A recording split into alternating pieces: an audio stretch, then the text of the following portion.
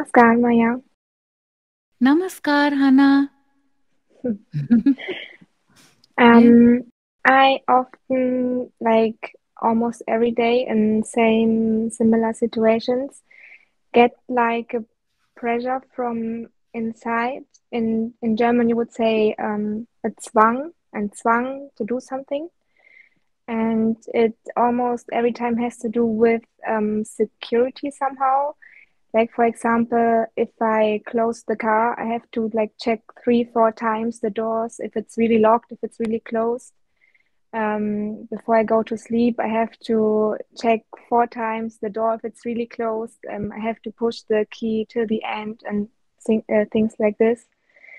And I just wanted to ask how to get rid of this because it's like really like I see myself doing this, or even though I don't want to do it, I have to do it. And yeah, how to how to get rid of this. Hannah, I think the issue here is that there is not enough as yet trust in your own strength, you know. Trust in your actual inner strength and power. When you develop that trust slowly, and that trust comes, as you know, very well, and you've heard it since you were a child actually, that that trust comes from tuning in, the process of tuning in, tuning in, tuning in, tuning into the truth of your being, to the soul, to the source. That trust in who you are and that that trust in who you are comes from being as much as possible in the present, in the here and now. So, what happens generally is that a person who has these zwänge, these forced actions, is because they have to convince themselves that what they are doing is the thing to be done in that moment. And that only happens because the thinking is always moving all over the place. It is not present, strongly, solidly present.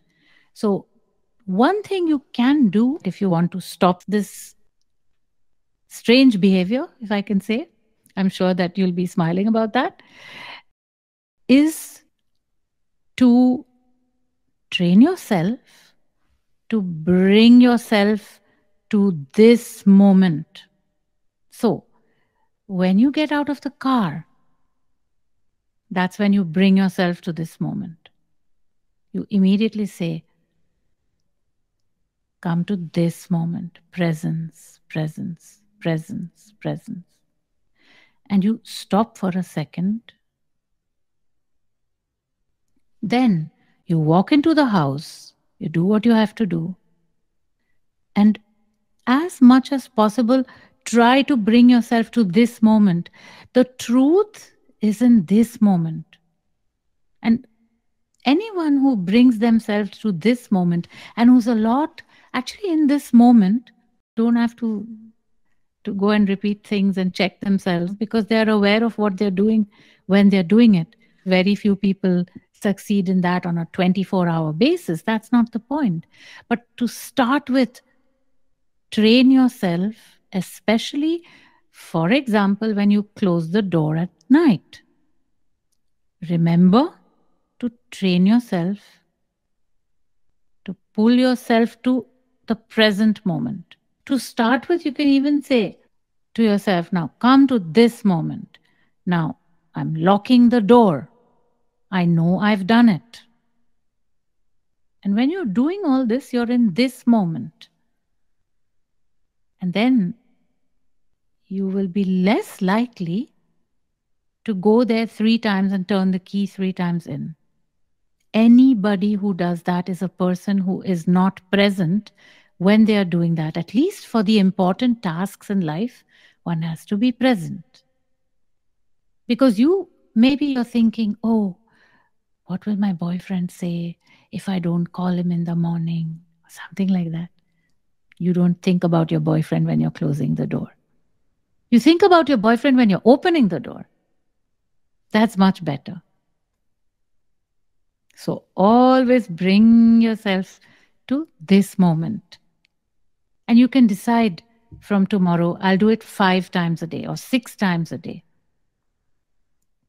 I'll do it for the six most crucial actions of a day. And then you do it, and very soon you won't have that kind of behavior. It'll be gone.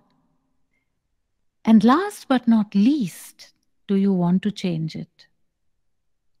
There are people who just want to live in that sort of messy, crazy life. So, first, you have to decide if you want to do it. And I think you do because you've asked the question. So, you do want to do it. Then you also will do it. Take up six tasks in a day that you know that cause you to repeat actions. And when you're doing those tasks, bring yourself to this moment. Be aware of what you're doing, and then it'll work. Yes.